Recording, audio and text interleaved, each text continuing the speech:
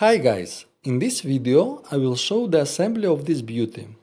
I really wanted to try out this watch design, as it combined several features that until this moment were missing from my watch collection, such as an engraved cushion watch case and Sandwich California dial.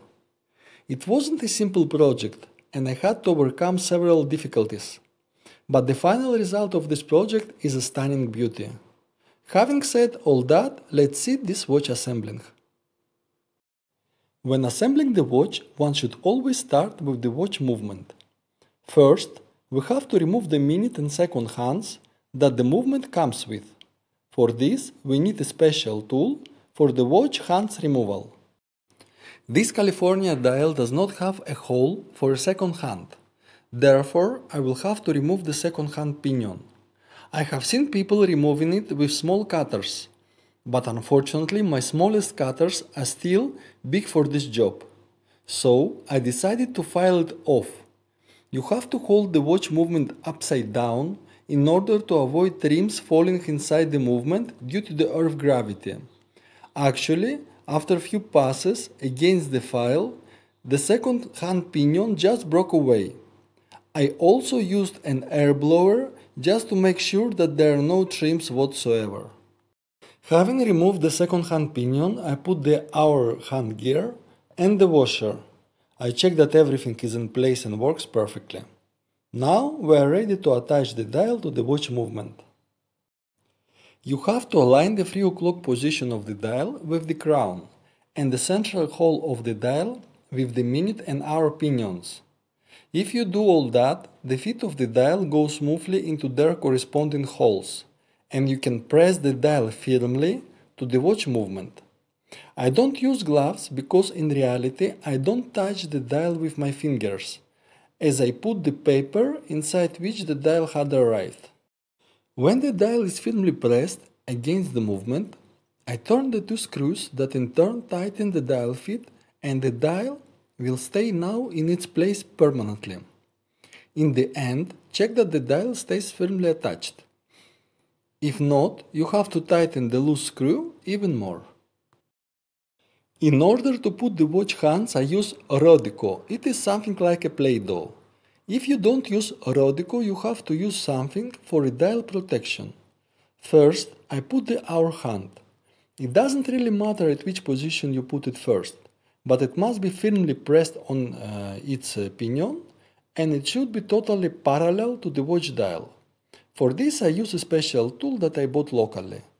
Always check that everything is working properly and that the hour hand is parallel with the watch dial. In the end, put it at the exact hour marker. I usually prefer the 3 o'clock marker. Next, I put the minute hand. Now the position of the minute hand is very important. I have put the hour hand at exact hour mark, so the minute hand must show exactly 12 o'clock. Again, it must be firmly pressed onto its pinion and it should be totally parallel to the watch dial and therefore to the hour hand as well.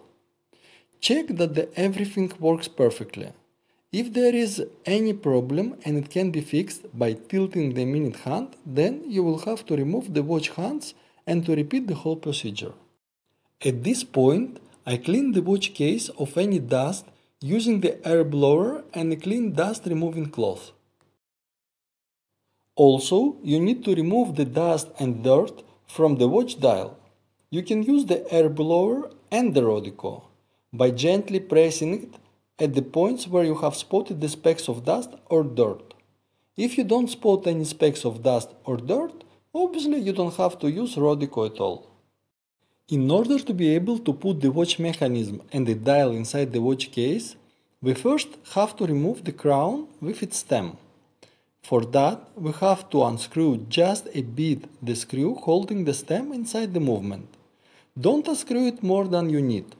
There might be huge problems if you unscrew it more than you should. Maybe you will even have to buy a new movement. First, unscrew it half a turn, which is 180 degrees, and try to pull the stem out. If it doesn't go out, continue with quarter turns, which are of 90 degrees, until the stem comes out. Now we can easily encase the movement and the dial. For this, I usually use the same protective paper that I used for the dial protection.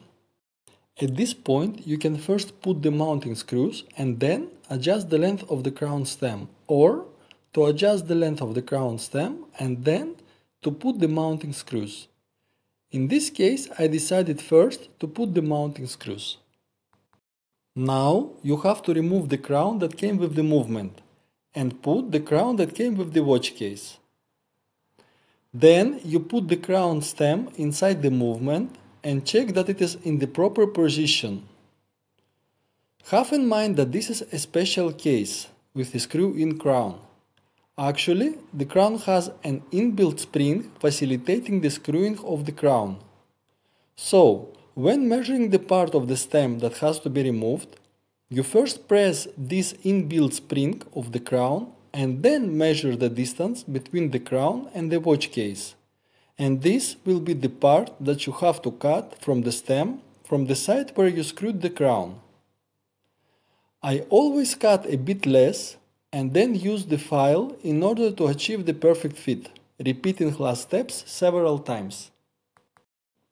When you achieve the perfect fit of the crown, you tighten the screw that holds the stem inside the movement and check that everything works perfectly. You can use Rodico to clean the movement surface from any possible fingerprints. As always, be extra careful and do not touch the balance wheel. Then put carefully the rubber sealer and once the rubber sealer is in place, put the back of the case. Obviously first you have to clean it from dust using the air blower, clean cloth and Rodico. I give few spins until I see that the case back is screwing in properly and after that I tighten it using a special ball that I have bought again from AliExpress. Finally, we have to put the strap. First, put the fastening screws. Then, put the brackets inside the corresponding strap hole and then push firmly the brackets ends simultaneously inside the case holes. Finally, screw the fastening screws. Check that the strap stays in place and then repeat the same procedure for the second part of the strap.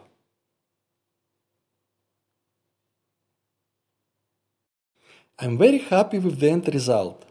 Actually, this project has been haunting me for several years now.